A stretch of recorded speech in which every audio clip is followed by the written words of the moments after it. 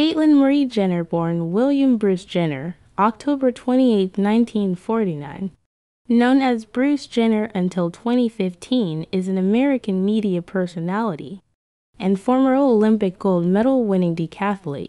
Jenner played college football for the Graceland Yellow Jackets before incurring a knee injury that required surgery. Convinced by Olympic decathlete Jack Parker's coach, L.D. Weldon, to try the decathlon, Jenner had a six year decathlon career, culminating in winning the men's decathlon event at the 1976 Summer Olympics in Montreal, setting a third successive world record, and gaining fame as an all American hero. Jenner established a career in television, film, writing, auto racing, business, and as a Playgirl cover model. Jenner has six children with three successive wives.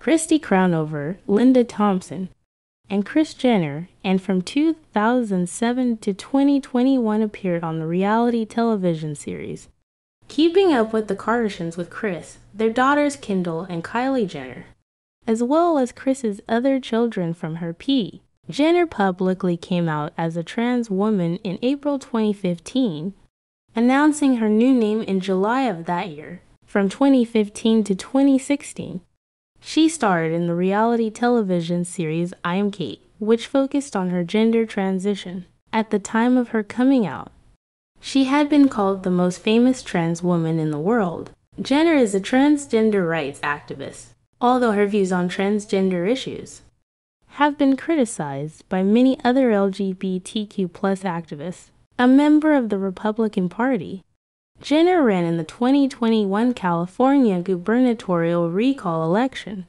finishing 13th with 1% of the vote. Six months after the election,